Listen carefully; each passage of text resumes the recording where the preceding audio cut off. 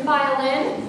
A few housekeeping notes before we get started. Bathrooms. Uh, women out the door to the left and men's washroom out the door to the right down the hallways. We do have some coffee and cookies being set up outside. You're welcome to have some. Uh, unfortunately, food and drinks are not allowed in here, so help yourself. Uh, Murray will be hanging around afterwards uh, with some coffee and cookies, so feel free to uh, hang around with us. I think that's it. I'll uh, pass it over to Murray.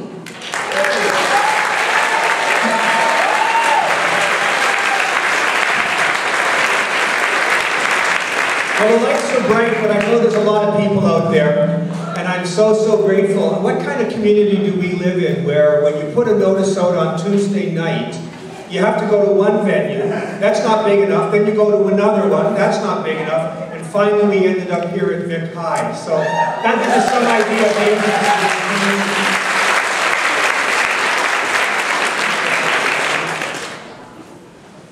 I'd like to first begin by acknowledging that we're meeting on the territory of the Lekwungen people, the unceded territory, currently the First Nations being uh, Songhees and Esquimalt. And I ask the gentleman to come forward and give us a greeting, a Coast Salish greeting if we could.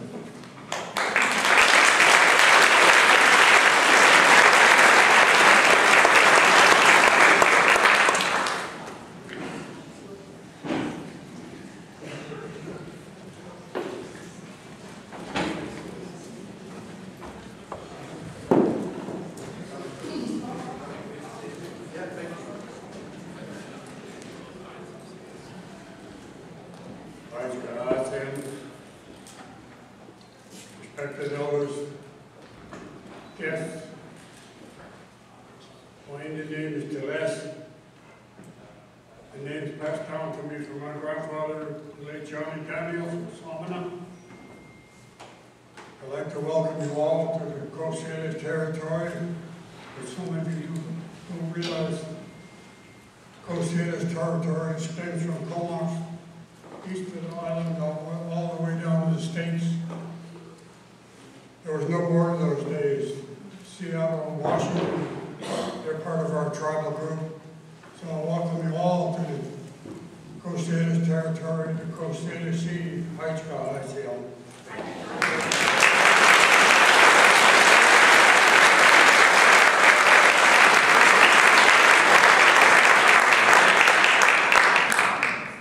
So first of all, I'd like to thank Crystal Thompson, who had the uh, inspiration to make this happen. Crystal works for me, and uh, it's quite an amazing feat to pull it off so quickly. I'm, I'm just so, so pleased. I've had a number of town halls, and we've had them on some very, very sensitive issues, and most of the uh, preliminaries, I like to say, involve respect and education, by which I mean this is a, a, meeting where I'm going to outline, if I can, some of the ideas as to why I personally am bitterly opposed to the project at issue. But on the other hand, I want to make sure, like any good advocate would, that we understand what the other side of this important debate is saying. So we have the benefit of the pros and the cons, if, if only to be able to better understand the issue. And that's the education part. The respect part is, when we had a meeting on medical assistance in dying in a church hall not far from here, the tensions were very high, the emotions were very high, but the level of respect the community showed for people with different views was also very, very impressive. So I'd like to make sure that we have that in mind as we go forward, because uh, this is uh, one of the issues of our generation. Now, when I pulled this together with Crystal's help in such short order, I reached out to somebody I'd like to introduce, who I'm going to call up in a few minutes to address us. Harry Swain is his name. We're very, very fortunate to have Harry and Julie in our community. What an impressive bio he has. He's been uh, at the posts at the University of Toronto, Cambridge, UBC. But to me, one of the most interesting things Harry did was he was 22 years as what we call in Ottawa a mandarin. That is to say, some of you know, he was a deputy minister, and the most he was a deputy minister of industry, but in, for what is of great importance to us, he was a deputy minister of what was then called Indian and Northern Affairs. Harry and Julie live in our community and are very, very generous with their time and with their funds on so many causes. But uh, one of the things where I came together with Harry was he wrote a book, you may have read, a very successful book called Oka. And Oka was a book that described the tension.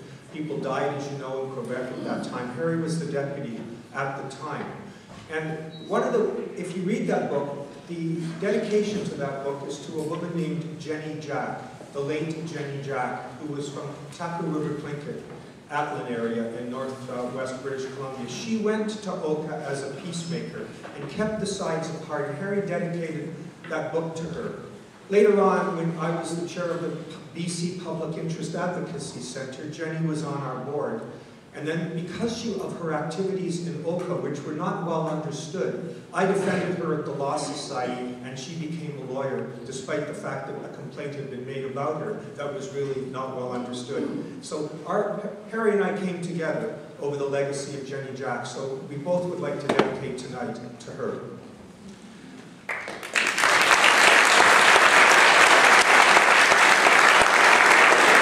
I said this was not a rally. There'll be lots of time for those. This was to be an event where we educate each other on this issue, the Kinder Morgan Trans Mountain Project. But the best I could do by way of introduction would, to, would be to set out what I hope I've said on TV and in the House and, and the like as clearly as I can.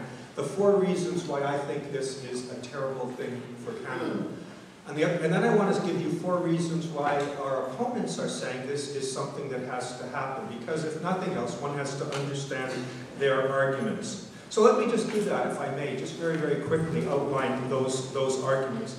You know, you come at this, you know, the first stage, the four stages of grieving, sadness, anger, uh, uh, uh, acceptance, and resignation. I have gone from sadness to anger very, very quickly in the last couple of days. And I'm not going to go to resignation or acceptance anytime soon. Um,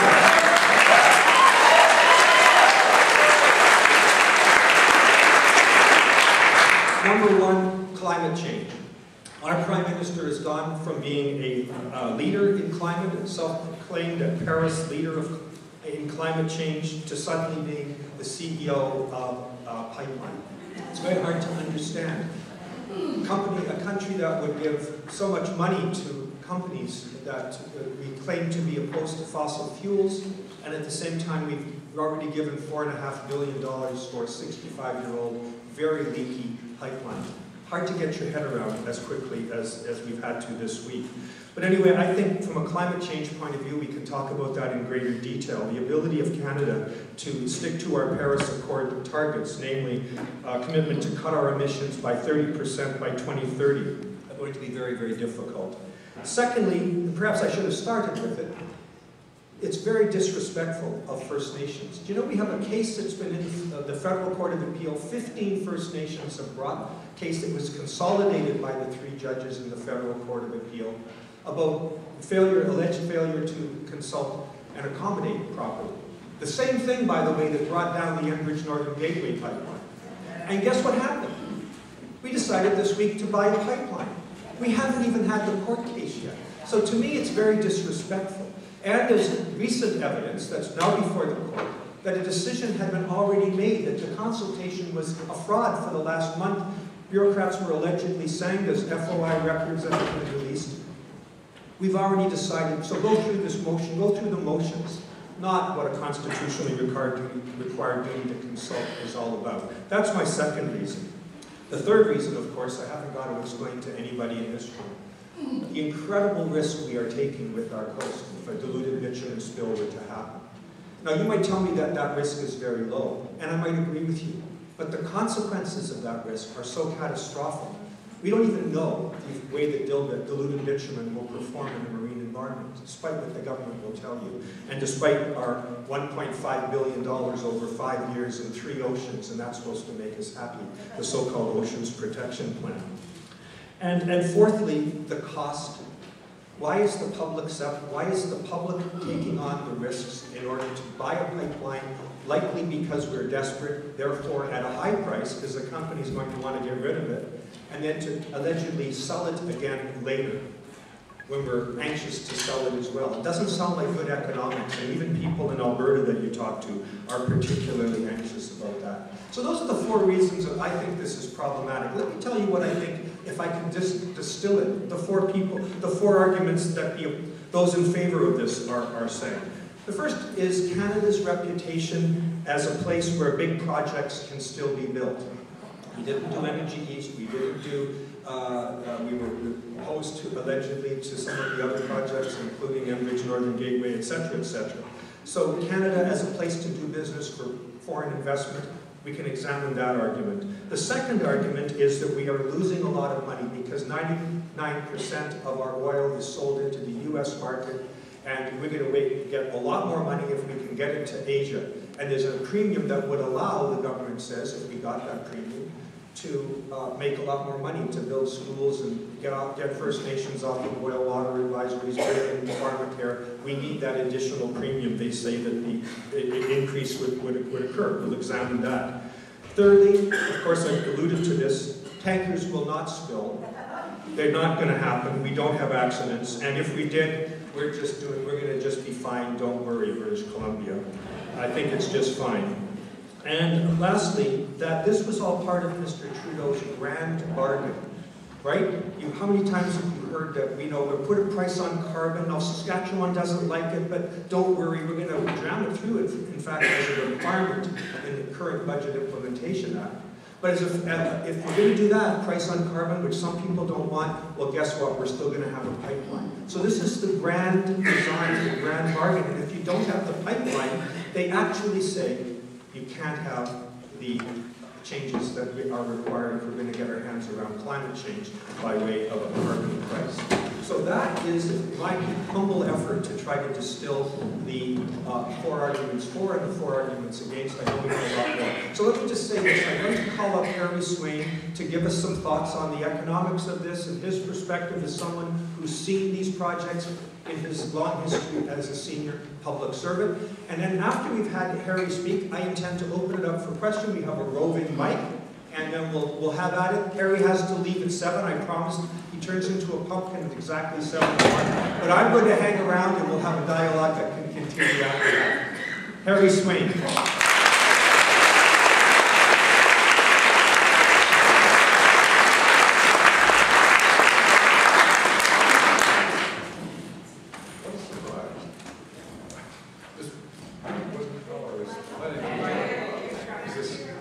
You're just too tall. How's that? Yeah, stick right in. Okay, I'm still surprised. Um, This is a a- a terrific problem. Um, And I think uh, the best way to think about it is,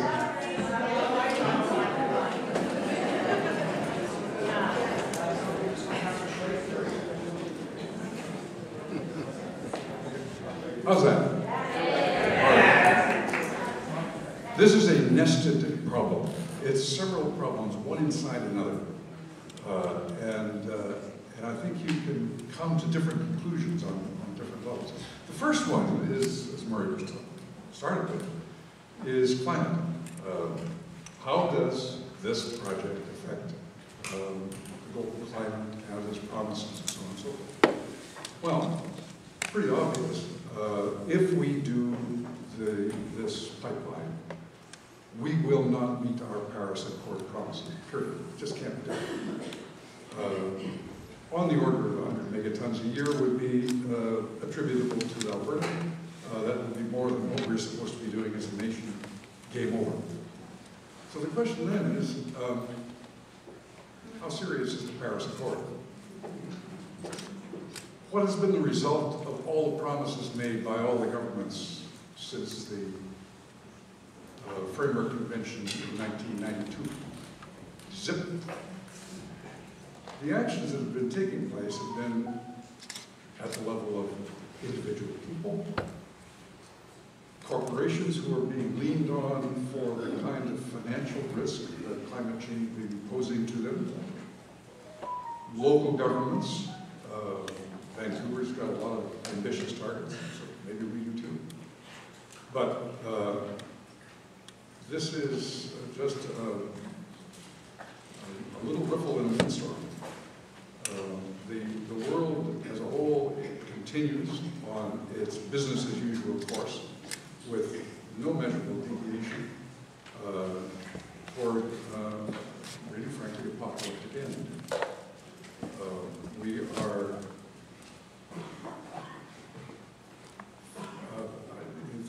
were a way of saying I would bet my mortgage on it, uh, we're, we're going to lose this battle in the next several decades.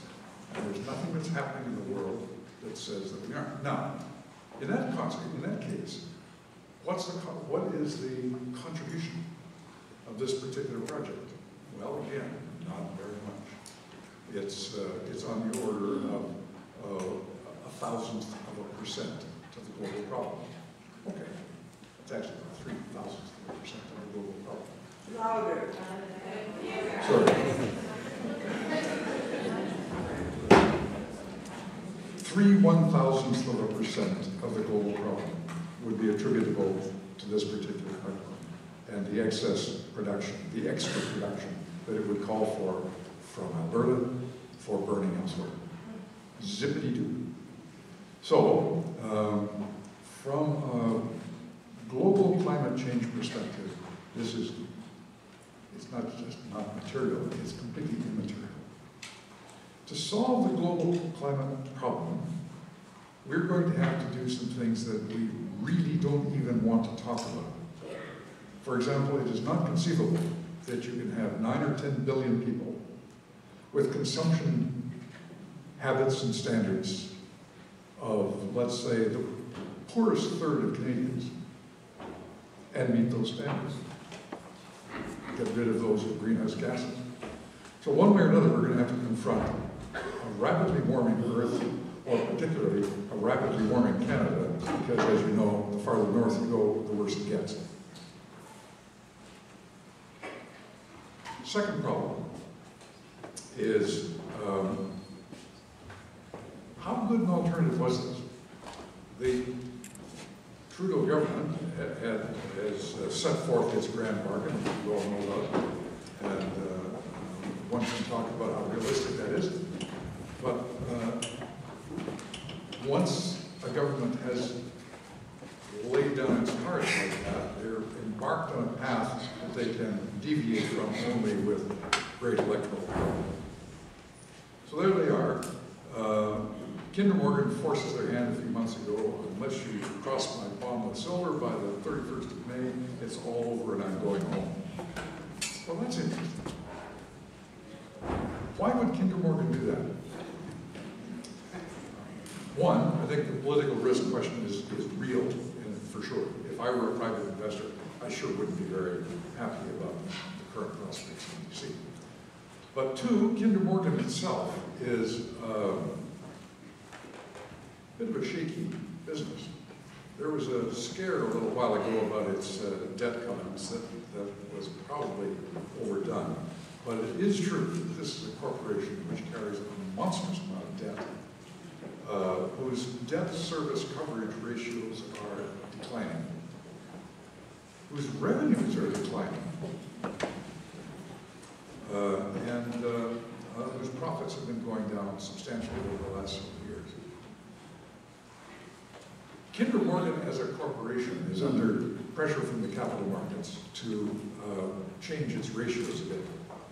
And there's nothing like a few billion uh, unforeseen dollars uh, to, on the equity side of the balance sheet to make your bankers breathe easier.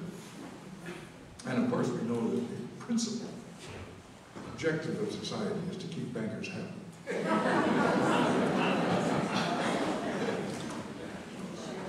So, from Kinder Morgan's point of view, uh, a way out of uh, what was becoming an increasingly difficult problem for them was not unwelcome. So then we're into the business of what does the government of Canada say to them? We had uh, uh, very unspecific um, statement from the Minister of Finance a month or so ago. Well, we can do this, we can do that, we can guarantee them against political risk and so on. I thought at the time, holy cow, don't do that. Don't guarantee them against the risk of rampaging John Marshall. This is, this is a, a financial financial difficulty for sure. When I ran the industry department, uh, we had uh, the most wide open legislation of any government department. Anything that a government wanted to do for which they didn't have some machinery or a checkbook or something like this, what could be done through the industry department. So we wound up doing all kinds of goofy things, from uh, cucumbers in Newfoundland uh, to uh, uh, last minute subsidies to Canadian Pacific Airlines, remember that? Anyway, It's likely that the government turned to the industry department. The Department of Finance would be working with industry to figure out just what they could do. It's okay. This now comes down to probably the third level problem, the second one. The third level problem is how do you structure a deal that uh, does what you need to do politically without exposing the country to unacceptable risks? In that sense, in that fairly narrow financial planning sense, buying the project as opposed to guaranteeing this or backstopping that and so on, is far and away the best mechanism. It's clear, it's clean, the accountability is absolutely clear. The mechanism, however, in detail, remains a mystery. It takes an act of parliament to start a new crown corporation, and there is no possibility of doing that before financial close on the deal that they announced. Uh, They're probably going to wind up using some obscure in my own department's mandate to get this done. But then, then what? There- Is there going to be a new board of directors? Uh, Are they going to be able to hang on to the, uh, the current staff of Kinder Morgan Canada, who for all I might think about the project, are competent engineering people? Uh, All this remains to be seen. Nonetheless, we have a deal which is uh, probably as clean as it could be under the circumstances. Now there's the, the kind of the intermediate level question, and that is, was this the best alternative? And that's a question which is uh, kind of obvious here in Victoria because this is the home of David Black, uh, Black newspapers and so on. And Mr. Black has, as you probably know, an interesting proposition to build a refinery at Prince Rupert, which would be, um, the, the input of which would be bitumen in solid form, without all these expensive derivatives, delivered by rail from Alberta, refined on the coast uh, in Victoria, in, uh, in Rupert, and shipped abroad from there as product, as gasoline, jet fuel, as kerosene, diesel. There are a number of advantages to that proposition. One is that pipeline across the mountains is not going to rupture and spread uh, uh, viscous goo over the landscape. Uh, Mr. Black has been discussing these issues with the First Nations in the area for some years now and has a degree of acceptance, which I can't measure, but is, is uh, a lot better than the usual uh, business of fully formed projects being uh, splashed in front of unwitting communities. We'll see.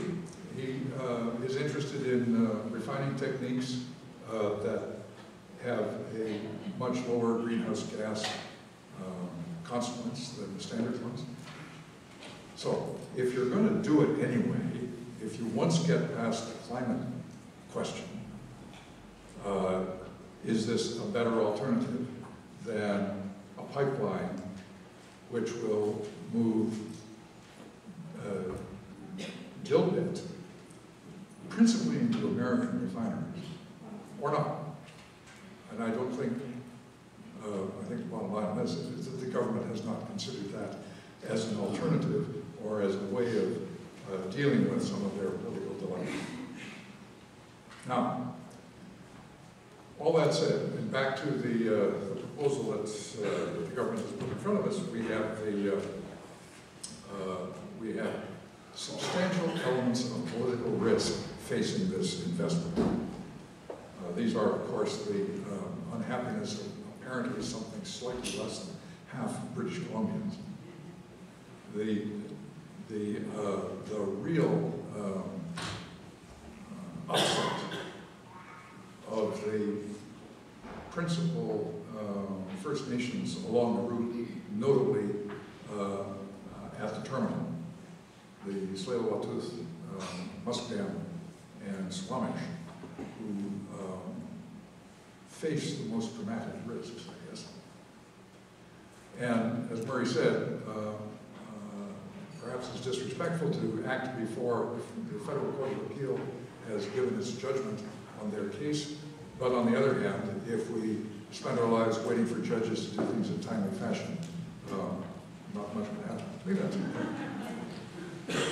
uh, That's a big problem. Uh, that court case could go any of several different ways, and I have no idea predicting which is which. But suffice to say that the, uh, the issues that are raised are serious, novel to a degree, and, uh, and are likely to produce eventually a Supreme Court decision, which is, which will be pretty interesting to read. I don't believe it will stop at the Federal Court of Appeal. In that context, I want just to recall uh, one kind of line from the Chilcotin case of 2014, where the Supreme Court unanimously said that uh, if a government wants to do something which uh, invades Aboriginal title, perhaps by extension some other kinds of Aboriginal rights, for Section 35 rights, that uh, uh, there is a long series of uh, activities they must go through, starting, not ending, with consultation and accommodation, redesigning the project to make sure that the impact is the least possible, physically possible, for the desired outcome. A desired outcome, an objective, which is a serious social problem, usually manifested in legislation.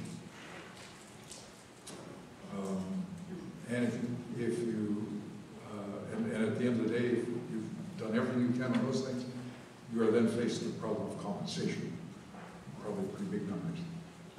Okay. Um,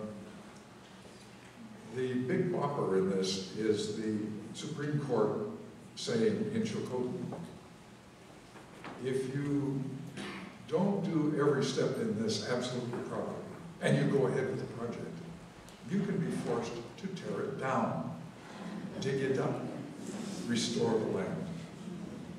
So that's the nature of the risk, if you will, from a, just a project finance point of view, that any proponent would face with this project, and will face until this case goes, as I expect, all the way to the Supreme Court.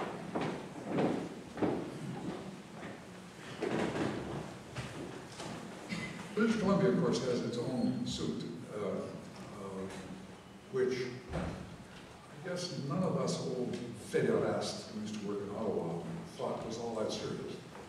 That is, uh, our reading of the British North America Act, Constitution Act of 1982, said that if you have a project which is in federal jurisdiction, the feds can do pretty much as they want.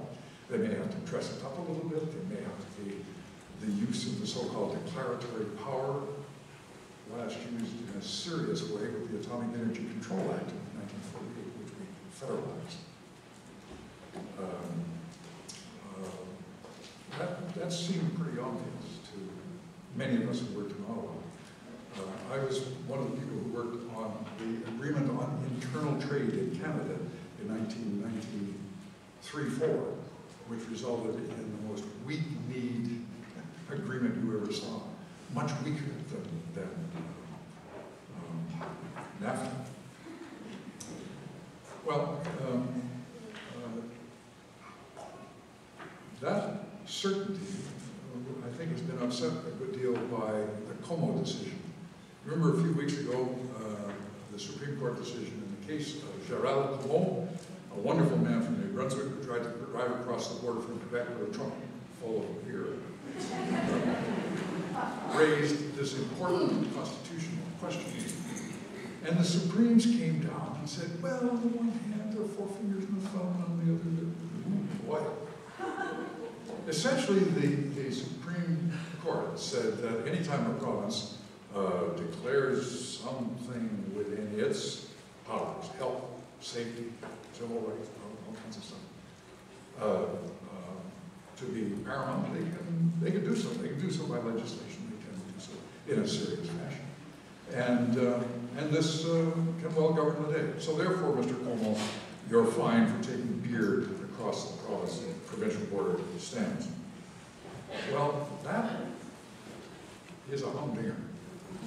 This is, this is states' rights in a big, big way for Canada. And it is the, it, it would mean that uh, attempts to have the degree of trade freedom inside Canada that we used to have until this week across the U.S. border um, is unavailable. By the way, there was one other point I wanted to make about that idea, the- about the proposition that's being made, the purchase of these assets. And that is, it gets the government out of one quandary that has been little mention of, and that is Chapter 11 of NAFTA. Speak up, please. Sorry, it, it gets the government out of Chapter 11 of NAFTA. Under that chapter of the existing treaty, a, foreign investor whose uh, legitimate, approved, legal investments are frustrated by the actions of government may sue. And, uh, and they may sue not just for their sunk costs, but for their foregone profits. It's a little bit harder argument, but it's still available. And the neat thing of it is, even if it's a provincial government that is the source of the frustration, it's the feds that get to pay. Always that. So the one, I suppose, useful thing in current disposition is that Mr. Morneau has bought his way out of that particular risk. Now, will NAFTA last until the pipeline is built? Who knows?